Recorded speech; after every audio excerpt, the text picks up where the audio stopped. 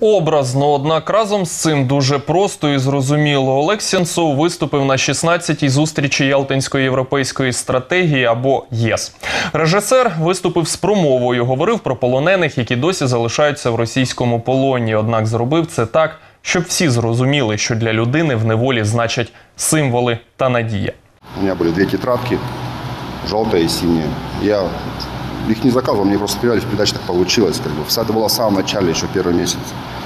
Я взял, вырезал с этих э, тетрадок две полоски, синюю и желтую, и наклеил на эту банку.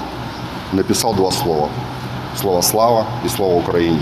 И поставил на самое видное место. Все пять лет, пока я путешествовал по тюрьмам Российской Федерации, она была со мной. Я оставил ее на самое видное место. Она очень раздражала тюремщика. Вот эта банка. В некоторых армиях мира есть такая традиция, может не традиция, а правило, что при гибели бойца его командир э, отрывает жетон для того, чтобы собрать отчет о погибших. Это ну, печальное правило, печальная традиция. Я бы хотел завести другую.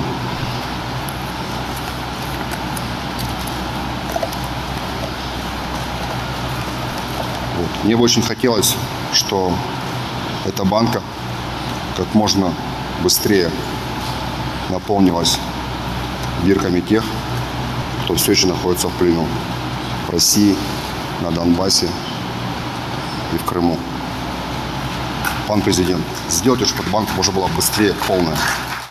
У свою чергу президент України відповів, що зробить все можливе, аби це прохання режисера і власне всіх українців якнайшвидше втілити в життя. Більше того, сказав, що в його офісі вже готують нові списки для другого масштабного обміну ув'язненими з Російською Федерацією.